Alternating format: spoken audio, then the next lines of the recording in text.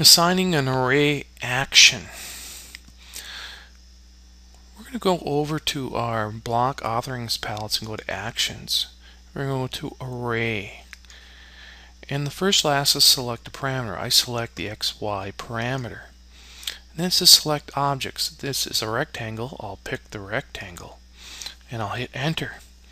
And it says enter the distance between rows of the specified unit. I can either pick two points or I can key in a value.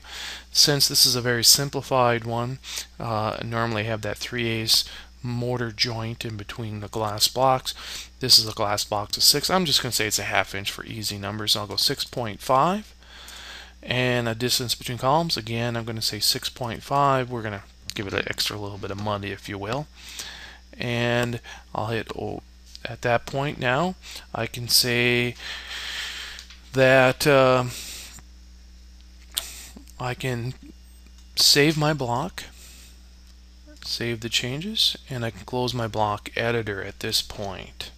And now we're ready to test it, uh, the array action dynamically.